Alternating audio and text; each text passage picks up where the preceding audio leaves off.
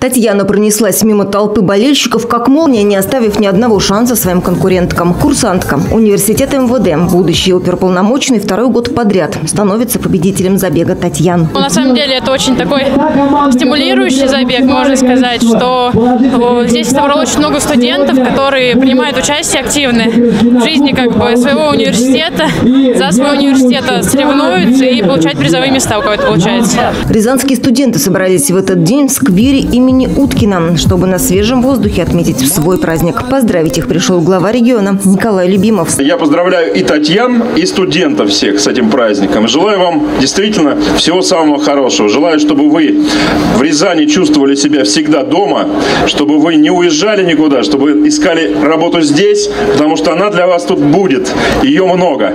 Желаю вам еще раз хорошего всего, настроения прекрасного. Отжигайте! Веселые, активные спортивные более 10 тематических площадок должны были пройти команды учебных заведений. Прыжки через скакалку, паутинка и катание на санках. И все это на время. Задания ребята выполняли с азартом.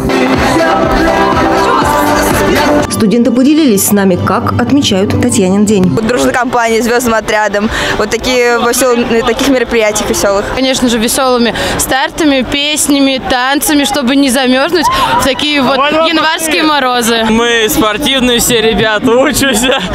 Как бы у нас в спортфаке должны выиграть эти соревнования. Праздник, праздник для всех студентов. Отмечать как будете? Отмечать по-спортивному. В этих стартах нет проигравших, все победители. В качестве поощрения рязанских студентов ждал самовар на свежем воздухе, сушки, пряники и полевая кухня. Мария Руда и Сергей Данилин, телекомпания «Город».